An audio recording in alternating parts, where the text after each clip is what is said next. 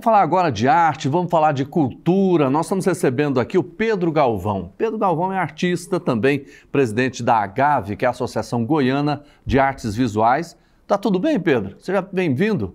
Tudo bem. Os projetos andando em frente, né? E não param? Não para. E além disso, é uma honra estar aqui nesse programa. Já estive aqui falando do meu trabalho em outro período em outro estúdio. Esse estúdio aqui me surpreendeu. Maravilhoso, viu?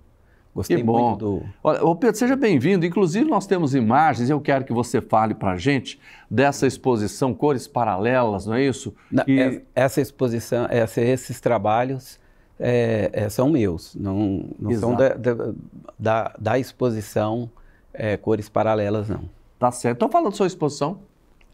Não, é, é, eu não, eu não vou fazer nenhuma exposição agora, estava previsto uma, mas eu tive que ceder o, o espaço, que era aqui, aqui na Alego mesmo, mas Sim. eu cedi para um trabalho é, mais de relevância maior, que é o, sobre o Césio 137, né, que é 37 anos, superação, e, e aí eu cedi esse espaço que eu ia expor essas, esses trabalhos meus. Mas eu acho que vale, vale a pena, mas vale a pena falar sobre o meu trabalho e sobre o trabalho da Agave também. Vamos falar é, sobre o seu trabalho é. primeiro, é, depois a gente vai para a Agave. Exatamente, pode, pode me ser. conta, me fala do e, seu trabalho. É, o meu trabalho é um, é um trabalho de pesquisa que eu fiz, que eu fiz a partir de 2015, que é o trabalho com, com esses artistas de rua. Eu fiz um trabalho de entrevista, de campo mesmo. E, e aí eu, eu o meu processo criativo foi exatamente esse: ir para a rua, entrevistar eles e levar para o, para o ateliê e fazer um trabalho onde eles estavam no cenário de Goiânia. É, a, essa série chama Artistas de Rua Cenário de Goiânia e é um trabalho que já me trouxe umas premiações, um trabalho de uma relevância muito boa que mostra.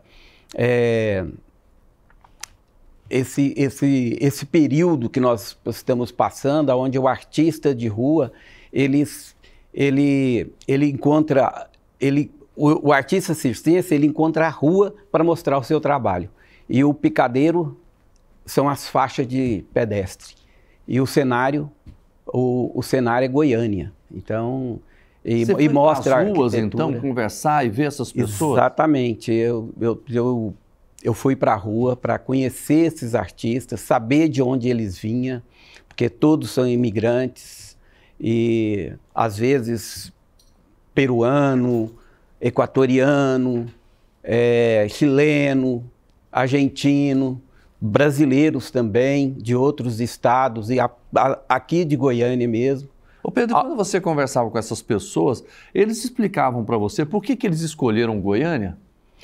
É interessante isso, porque eu sim perguntei, e, e uma das referências dele é, o, a, é, o, é o, a escola do Basileu França e também o do Maneco, que é um, que é um, um espaço circense, é um, uma escola circense, aonde dava, ele poderia desenvolver o seu trabalho de circo.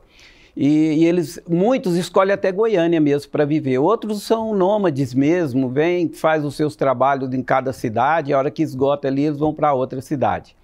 Mas muitos escolheram Goiânia para justamente por causa dessa escola circense, que foi uma surpresa para mim.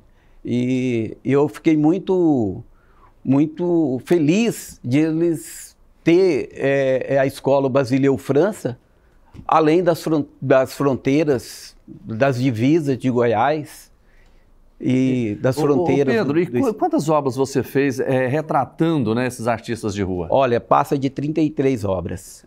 Essa, a série Artistas de Rua. Agora ali eu tô. É, tem outras séries também, que é. Outra série que é ópera que é uma série onde tem uma bicicletinha, onde acontece algumas coisas. Esse eu trabalhava mais com, com as informações do dia a dia. Inclusive na pandemia eu, eu, eu produzi um trabalho que nessa série é, ópera, aonde eu comecei no início da pandemia e, e, terminei a obra. Essa, essa era a proposta minha. Terminei, terminei a obra no final da pandemia. E como é que foi o reconhecimento, a premiação a esses seus trabalhos? É, eu tive uma premiação no SESI em 2017 e tive também outras premiações é, é, fora, fora de Goiás, de, de mérito e também na, por duas vezes na, na, na Lei Aldir Blanc. Tá certo. E fala do trabalho da Agave para gente. Bom, a Agave é uma associação de artistas visuais, aonde nos últimos quatro anos cresceu muito e nós temos mais de 150 filiados. E hoje, há dois anos atrás, eu assumi a presidência da Agave. Hoje eu fui, eu fui reeleito agora, 100% de, de, de votação, onde eu tive os 100%, só tinha uma chapa, mas essa chapa ela foi super aceita. E, e nós temos, nós desenvolvemos nesses dois anos, aonde a Gavi ela funcionava sempre no ateliê de um artista, e eu tirei ela do ateliê do artista depois de 18 anos de, de existência da Agave e, e aí nós temos hoje um endereço aonde abriga a sede e uma galeria de arte, que é o que o artista precisa, galeria de arte. E se alguém quiser, por exemplo, visitar a associação, como é que é? É, a, associação, nós, nós estamos com essa exposição lá, né, que eu falei, e a associação ela fica na rua 5, número 466, no centro. E, e por que escolher o centro? O centro, eu acho que a gente tem que fazer com que o centro, ele mude esse conceito de centro, não é mais o centro administrativo. Eu acho que tem que, que eu, eu, eu penso que o centro ele tem que ser um espaço cultural, de lazer, de história, e por isso que nós escolhemos o centro. Tá certo.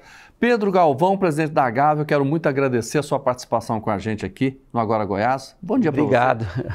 Volte mais vezes. Opa, com certeza. Eu vou. Tá certo. Vou. Sempre que você precisar, eu estarei aqui, tá? Assim como os meus amigos aqui dentro da, que bom. da Assembleia. Ele está sempre fazendo exposição aqui, vai abrir essa exposição dia 17 sobre o Césio, onde tem 35, 35 artistas da Agave que vão participar dessa exposição. Nós vamos mostrar vamos, e vamos conversar com vocês também sobre esse novo trabalho, tá certo? Tá certo. Um, obrigado.